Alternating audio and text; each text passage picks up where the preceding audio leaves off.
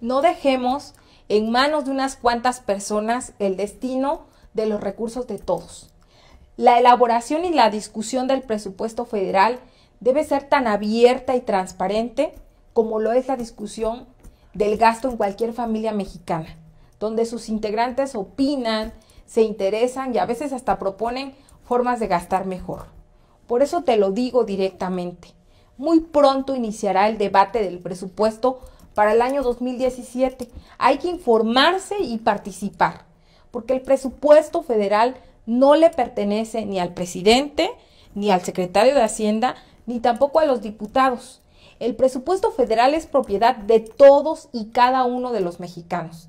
Para la clase política tradicional, le ha sido muy conveniente hacernos creer que el debate sobre los recursos solo lo deben de dar los expertos, los legisladores o los funcionarios de Hacienda.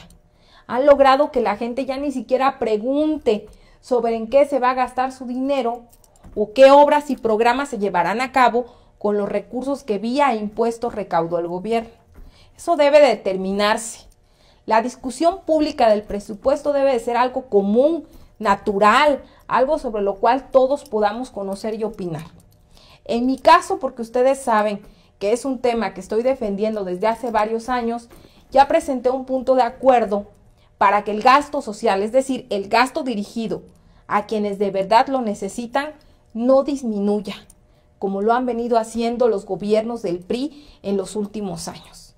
Basta decir que el gasto público en materia de desarrollo social lamentablemente pasó de representar el 14.2% del Producto Interno Bruto en el año 2015 a solo el 11.4% en el 2016.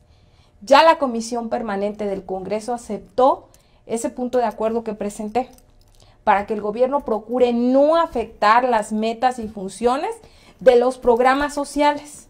Este es un paso adelante, pero solo confirma que no debemos quedarnos callados. Necesitamos hablar, participar, proponer, busquen a sus diputados, exíjanles que les expliquen en qué se gastan tu dinero.